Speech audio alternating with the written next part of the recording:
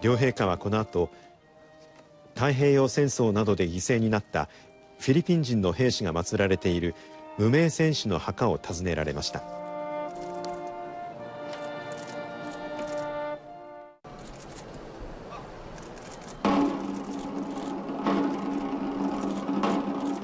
両陛下は深く長く拝礼をして犠牲となった人たちを悼まれました。無名戦士の墓は両陛下の意向で訪問先に加えられたということです。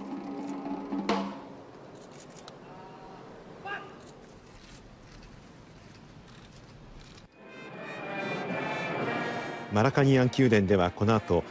秋の大統領主催の歓迎の晩餐会が始まります。大統領のスピーチに続いて天皇陛下がお言葉を述べられます。